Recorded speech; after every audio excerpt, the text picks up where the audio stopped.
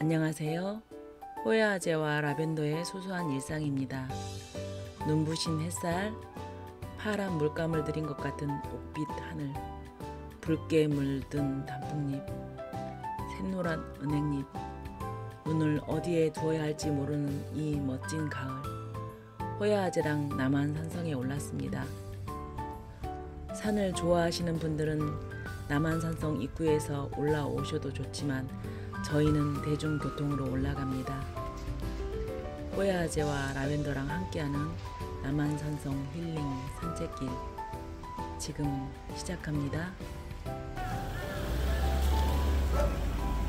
와 정말 경치가 너무 환상적이죠? 음. 저와 함께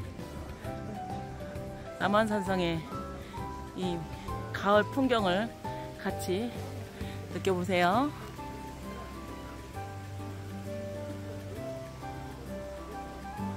여기 이렇게 예쁜 카페들도 많이 있어요. 한옥처럼 지어놓은 카페.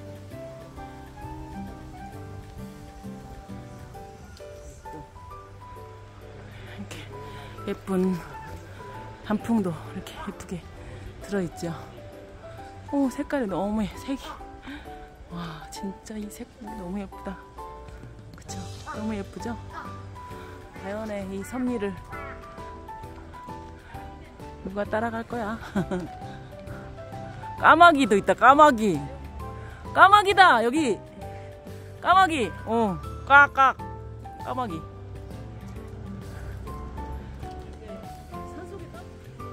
아, 까마귀가 일부 다처가 아니에요? 오.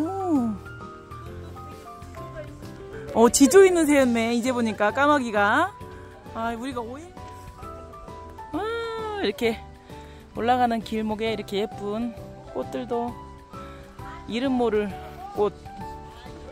어, 예쁘다. 그쵸? 낙엽이 우수수 떨어지네. 낙엽이. 와. 너무 예쁘다, 이거, 여기. 와, 이 너무 예쁜데? 어떻게 만들 와, 여기 지금 남한산성 올라가는 쪽인데요. 여기가 아, 진짜 경치가 너무 예뻐요. 이쪽으로 가야 되나? 음, 진짜.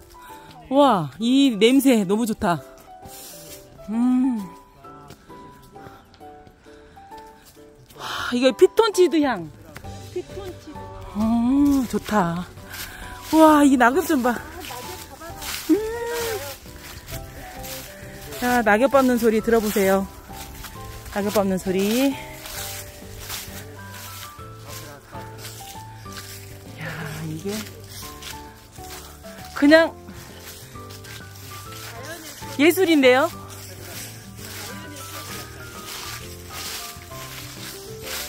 이 소리가 너무 정겹다.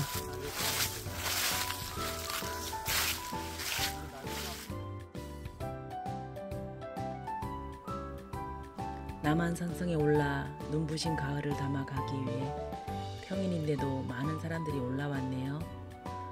멀리 가지 않아도 가까이에 울긋불긋 화려한 잎들이 손짓합니다. 잠시 산책을 해보셔도 좋고 낙엽이 떨어지는 공원 벤치에 앉아 커피 한 잔의 여유를 가져보는 것만으로도 나에게 주는 소소한 힐링이 되지 않을까요? 지금까지 호야아재와 라벤더랑 함께하는 남한산성 힐링 산책길이었습니다. 영상 시청해 주셔서 감사합니다.